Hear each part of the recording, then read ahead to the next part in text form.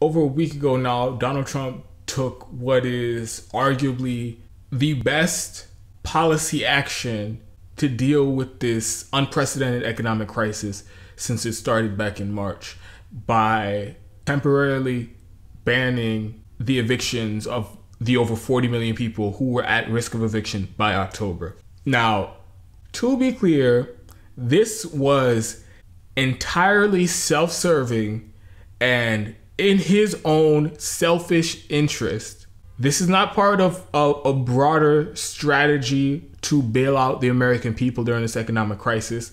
The only reason Donald Trump did this temporary ban of evictions that's supposed to extend to the end of the year is because he knows that if 40 million people were thrown out of their house right before the election, there's no way in hell he wins the election.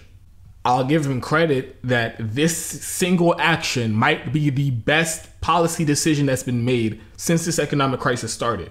That being said, this is only temporary. This isn't nothing to to celebrate and give and heap a bunch of praise on Donald Trump. He didn't solve the problem. He didn't solve the the eviction crisis. This is just kicking the can down the road until a more opportune time for him to allow the banks and landlords to throw 40 million people out on the street in the middle of a pandemic.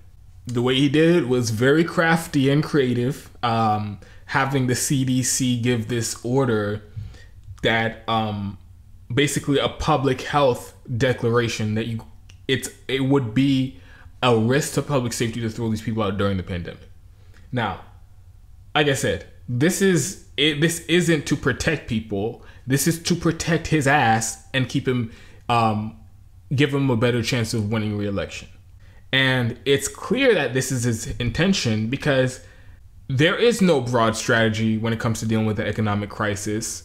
It is complete disarray, and nobody's even pretending to have a solution to this crisis. Six months into it, we're six months deep since the CARES Act was passed. This is just a pause. And whenever he, this ban is lifted, whether it's at the end of the year, if he extends it another month, if he extends it another two months, how whenever this ban is up, all those people are going to have to pay back rent all these people who have lost their jobs, who have no income, who are getting absolutely no money at this time, who haven't got a stimulus check. Um, some of them didn't get it ever, but the people who did haven't got one since months ago. A twelve hundred dollar check months ago.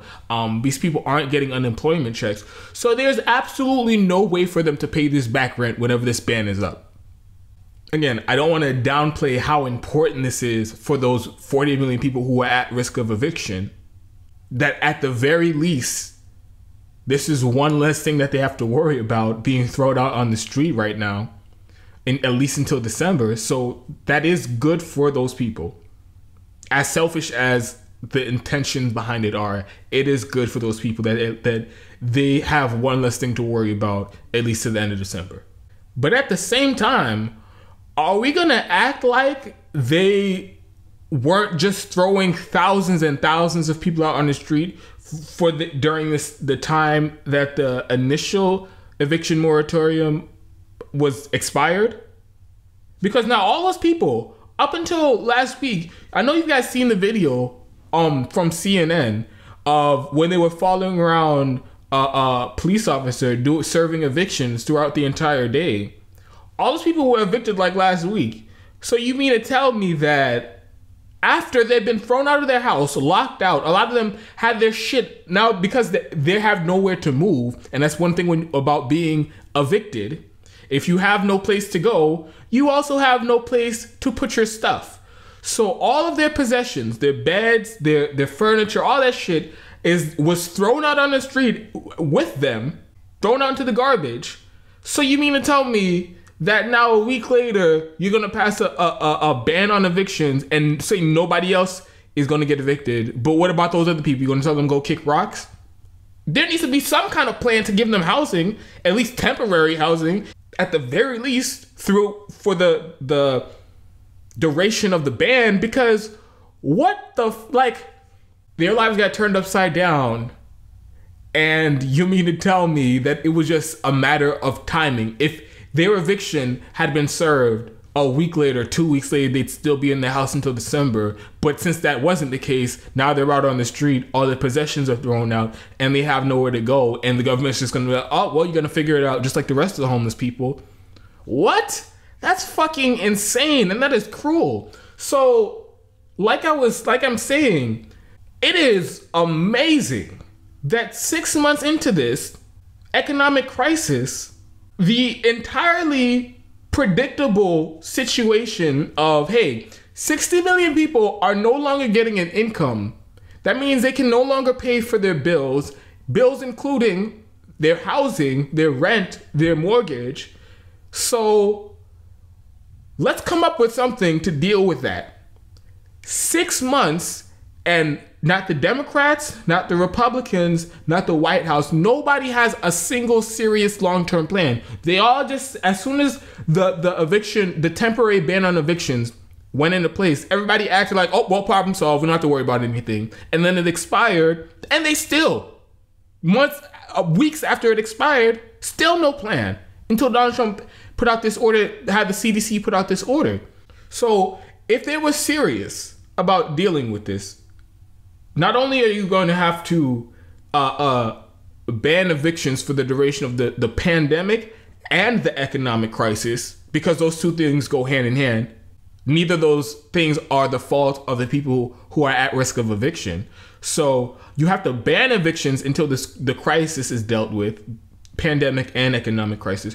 You also have to do something about the homeless people, the over a million homeless people who are on the street right now on top of that, and, and the the homeless crisis, the before the pandemic, before the economic crisis, was always a choice.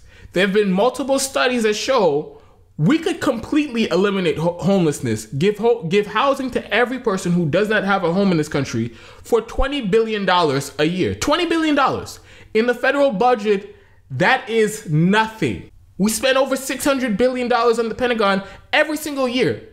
$700 billion in the Pentagon, to be clear. We give $80 billion to subsidize Wall Street banks and financial investors every single year. So you mean to tell me that in the richest country in the history of mankind, it is inconceivable for the government to spend $20 billion to completely eliminate the homeless problem, homeless crisis in this country? So the homelessness was always the choice. Now it is even more cruel and inhumane to allow that to be a policy choice. So if you're gonna ban the evictions, you also have to do something about the people who are already homeless.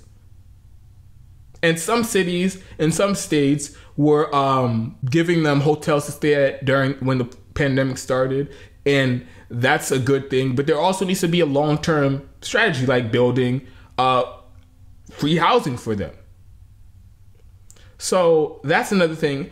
And then you have to have the rent and and the debt completely canceled.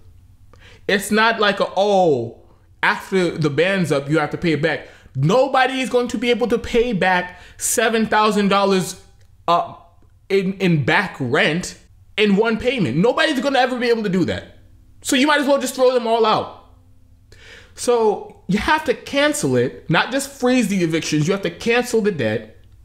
And you have to do we have to radically restructure the credit rating system because people's credit now are being ruined for the rest of their lives because this all goes on their credit. You not paying your rent, all this back rent, having a, a, a foreclosure filed in court, having eviction in court, that ruins somebody's credit. And that is something that will follow them for the rest of their life and make it incredibly hard to do even basic things like getting a loan, a business loan, getting a loan for a car, getting a mortgage. It is it would make it incredibly hard to do even those basic things. So we either need to abolish the credit rating system and there was an argument to do that before this crisis started or at the very least radically restructure it so that all these new debts that people are, are getting to their adding to their credit, whether it's from them not being able to pay their, their car payments or their insurance or their their housing payments. All that cannot go on people's record because, like I said, this is no fault of their own. So Trump's temporary ban on evictions is a good thing. As selfish and self-serving as the motive behind it was, it is a good thing for the people who get to stay in their house. But there needs to be a long-term strategy and nobody has a plan. And the fact that nobody has a plan means that they never will because it's been 6 months.